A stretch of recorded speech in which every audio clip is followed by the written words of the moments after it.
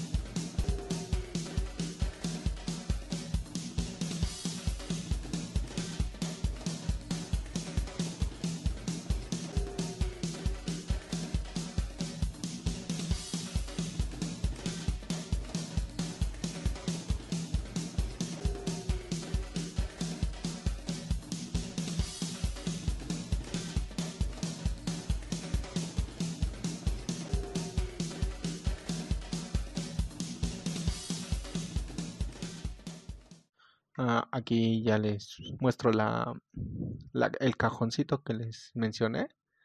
Muchas veces no encaja exactamente bien, así que van a tener que hacer algunos que otros movimientos. Si les queda la primera, que genial. En mi caso, pues sí me queda un poco pequeña. Entonces, pues tengo que expandirla.